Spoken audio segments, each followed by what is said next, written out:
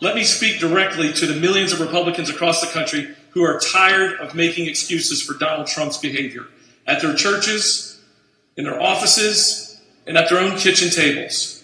Enough is enough. The nightmare has to end, and it has to end now. It's time for us to purge Donald Trump from our system. Let's take the next four years as Republicans and build and heal a new party, a GOP 2.0, a party that finds leaders that are willing to embrace conservative principles and work across the aisle. So I'm not going to put you on the spot unless you're welcoming the invitation to be able to say who you think the VP pick should be for Kamala Harris. But I'm going to read a little bit of tea leaves because Andy Beshear, his name has been bandied about. We know that he's being vetted. He's heading to Atlanta tomorrow to a battleground state of Georgia to campaign for Kamala Harris. But your thoughts about kind of this VP process that we're seeing that's happening right now? Every single person whose name we've heard will run circles around JD Vance. They are all mm-hmm. exceedingly qualified, and as someone who's been through this process before, uh, it's it's a very stressful process. So uh, God bless them all going through this. Um, but at the end of the day, we each of the people whose names we've heard mentioned have said whether they are the VP or not, they will support Kamala Harris and making sure that we defeat Donald Trump. And I really don't think that you can go wrong with any of the names who've been mentioned.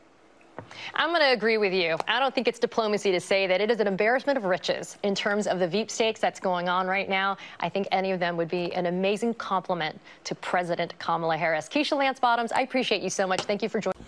I really do believe that um, Trump has made two huge mistakes.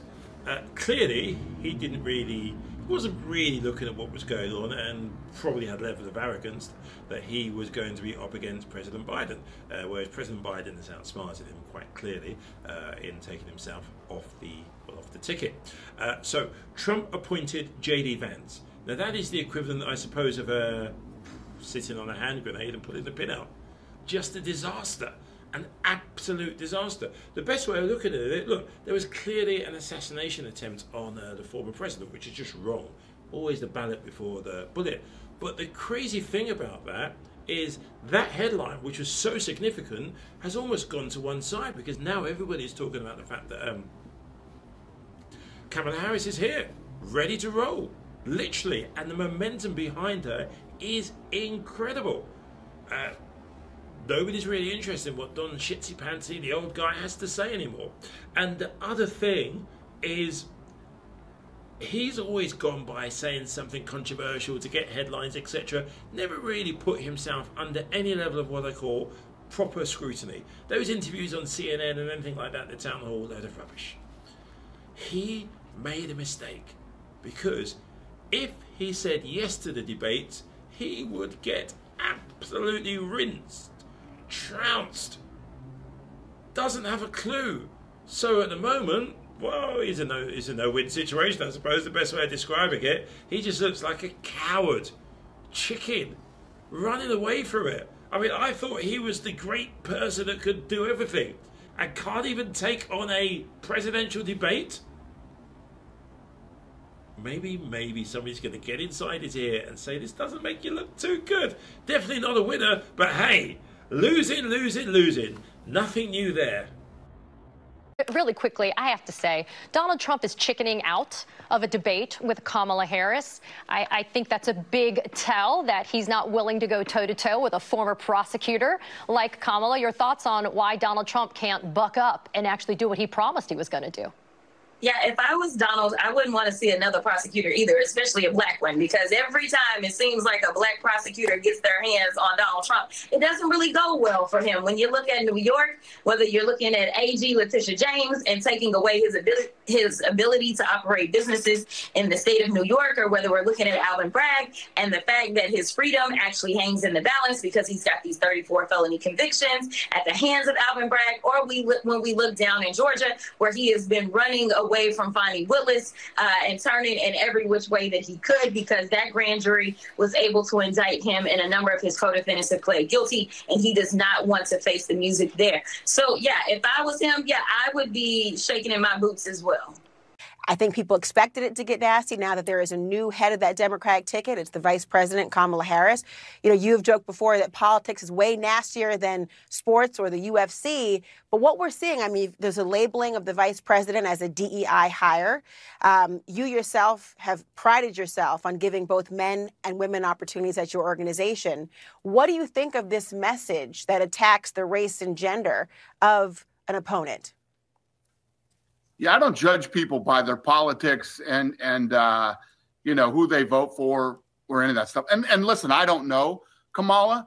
She seems like she's a nice person. Um, uh, you, you know, I, I have nothing against her whatsoever. And like I said, I'm not political. But do I think that that she is fit for the job? I, I do not personally. But it's not necessarily about the policy, it's the approach to attacking one. I mean, I know that you are very well versed in what it's like to have a matchup, and people are going to go at each other for the sake of the sport and entertainment. But when it comes to attacks, particularly, I mean, there was that quote from JD Vance, who is his running mate, talking about childless cat ladies. I mean, these are not things that are in line with enveloping perhaps women into the fold, which is something you have always stood for, you say, in your sport. Why why shouldn't that be the same in politics? Yeah, well, listen, politics are, are, are the most disgusting, nasty.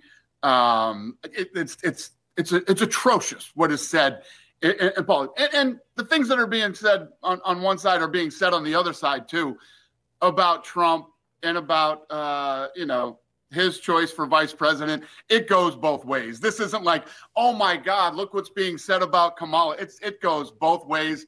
They're both saying it. And like you said, it's already heated up and gotten nasty. And like you said earlier, it's only going to get nastier. That's politics. It, it is what it is. Um, and, and it definitely goes both ways. I don't know that it's going both ways to have the childless cat lady comment oh, or, or a, a, DEI oh, hire. Who's calling J? Is you think that Vice President Kamala Harris is calling JD Vance a DEI hire? Dana, come on.